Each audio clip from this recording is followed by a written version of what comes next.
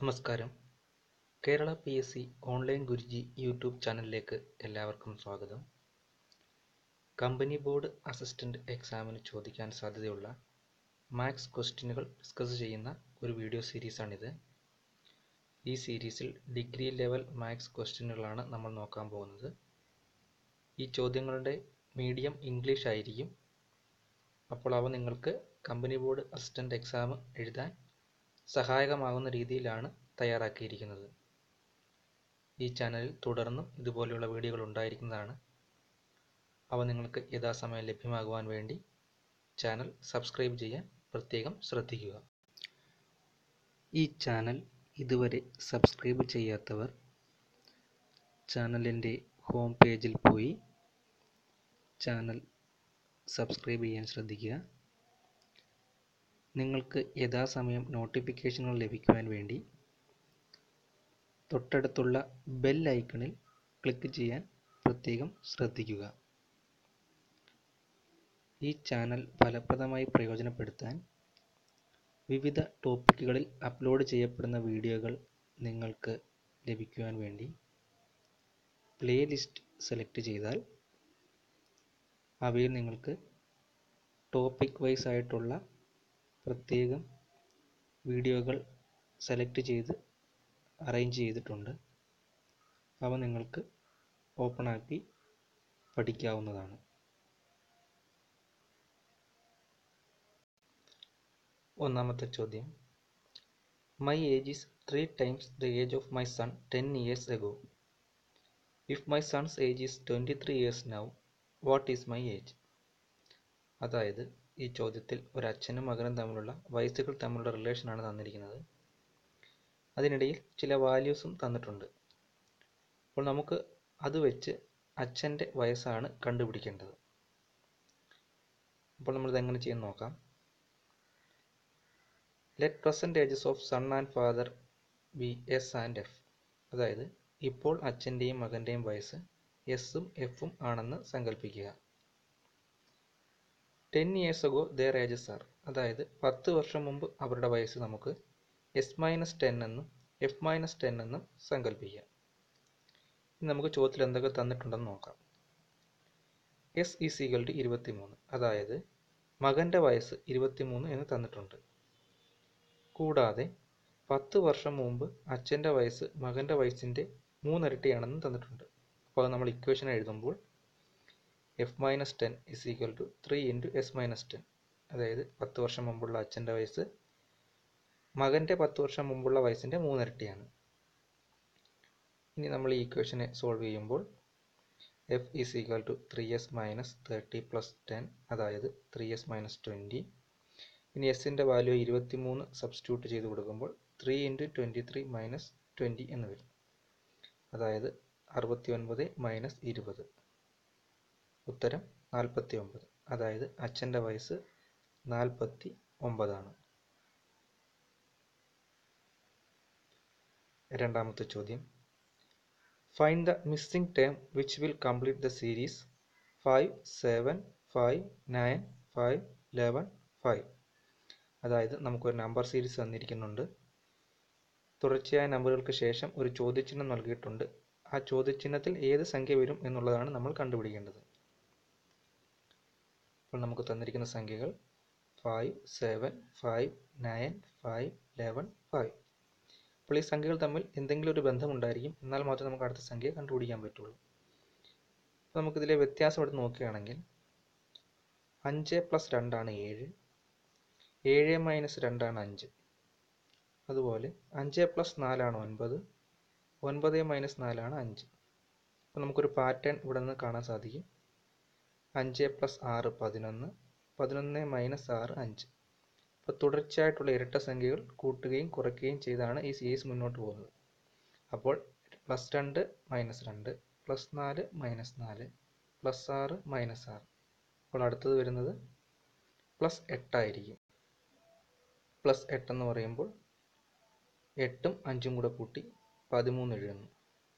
പതിമൂന്നാണ് ഈ ചോദ്യത്തിന്റെ ഉത്തരം. മൂന്നാമത്തെ ചോദ്യം.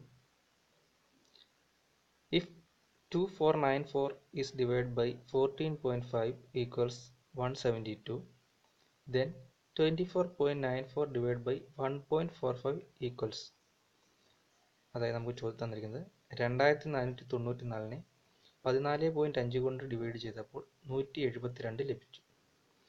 അങ്ങനെയാണെങ്കിൽ ഇരുപത്തിനാല് പോയിന്റ് ഒമ്പത് നാലിനെ ഒന്ന് പോയിന്റ് നാല് അഞ്ച് കൊണ്ട് ഡിവൈഡ് ചെയ്യുമ്പോൾ എന്ത് വരും എന്നുള്ളതാണ് കണ്ടുപിടിക്കേണ്ടത്. അപ്പോൾ ഈ ചോദ്യം നമുക്ക് മനസ്സിലാക്കാൻ സാധിക്കുന്നത് രണ്ടായിരത്തി നാനൂറ്റി തൊണ്ണൂറ്റി നാലിനെ നൂറ് കൊണ്ട് ഡിവൈഡ് ചെയ്യുമ്പോഴാണ് ഇരുപത്തിനാല് പോയിന്റ് ഒമ്പത് നാല് വരുന്നത്. അപ്പോൾ അതുകൊണ്ടാണ് നമ്മുടെ വൺ ബൈ ഹൺഡ്രഡ് ഇന്റു എന്ന് എഴുതിയിരിക്കുന്നത്.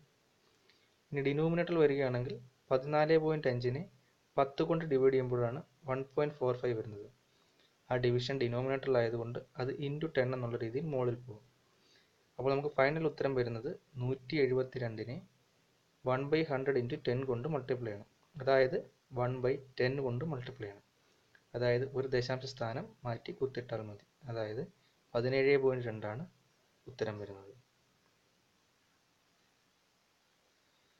നാലാമത്തെ ചോദ്യം.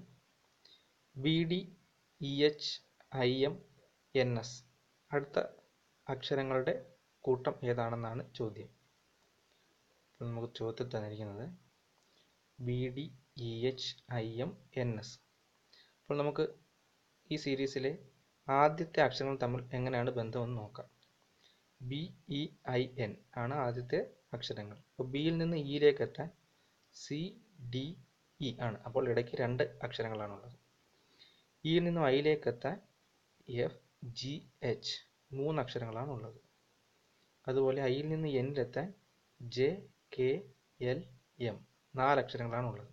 അപ്പോൾ അടുത്തത് അഞ്ച് അക്ഷരങ്ങൾ കഴിഞ്ഞുള്ള അക്ഷരമായിരിക്കും അടുത്ത സീരീസിൽ ആദ്യത്തെ അക്ഷരം വരുന്നത്.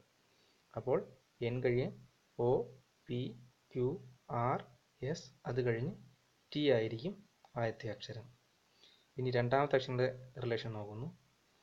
ഡിയും എച്ചും ഡി കഴിഞ്ഞ് ഇ എഫ് ജി മൂന്ന് അക്ഷരങ്ങളുടെ വ്യത്യാസം എച്ചും എമ്മും ഐ ജെ കെ എൽ നാല് അക്ഷരങ്ങളുടെ വ്യത്യാസം എമ്മും എസും തമ്മിൽ N O P Q R. അഞ്ചക്ഷരങ്ങളുടെ വ്യത്യാസം. അതിനുശേഷം എസ് കഴിഞ്ഞ് വരുന്ന സംഖ്യ കണ്ടുപിടിക്കാൻ T U V W X Y കഴിഞ്ഞുള്ള ഇസഡ് ആയിരിക്കും ഉത്തരം വരുന്നത്. അപ്പോൾ നമുക്ക് നമ്മൾ ഉദ്ദേശിച്ച ഉത്തരം ടി സെഡ് ആണ്. അഞ്ചാമത്തെ ചോദ്യം. The angles of a triangle are in the ratio three is is four is to five what is the degree of the largest angle നമുക്ക് തന്നിരിക്കുന്നത് ആംഗിളുകളുടെ ratio three is to four is to five എന്ന് തന്നിട്ടുണ്ട്.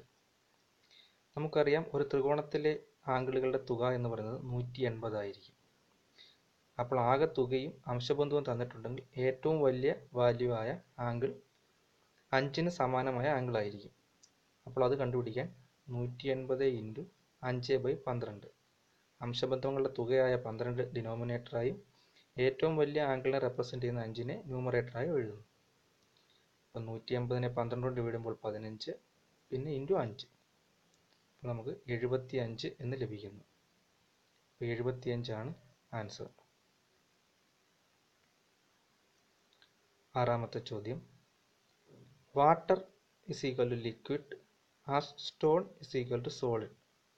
As air is equal to അതായത് വാട്ടറിനെ ലിക്വിഡുമായി താരതമ്യം ചെയ്തിരിക്കുന്നു. സ്റ്റോണിനെ സോളിഡുമായി താരതമ്യം ചെയ്തിരിക്കുന്നു. എങ്കിൽ എയറിനെ എന്തുമായി താരതമ്യം ചെയ്യേണ്ടി വരും എന്നാണ് ചോദ്യം.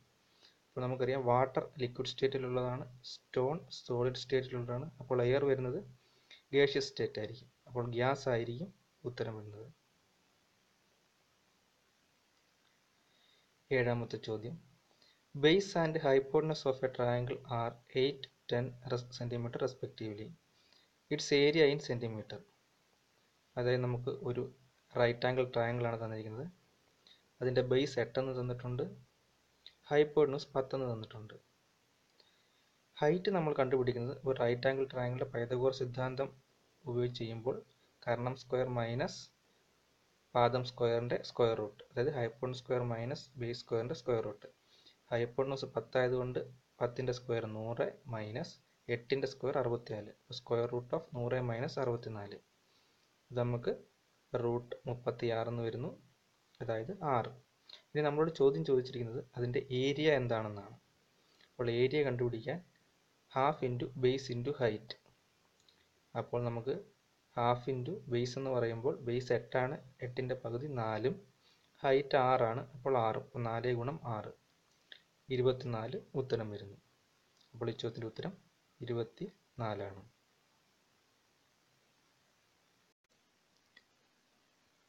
ഇനിയും ചാനൽ സബ്സ്ക്രൈബ് ചെയ്യാത്തവർ സബ്സ്ക്രൈബ് ചെയ്യാൻ ശ്രദ്ധിക്കുക.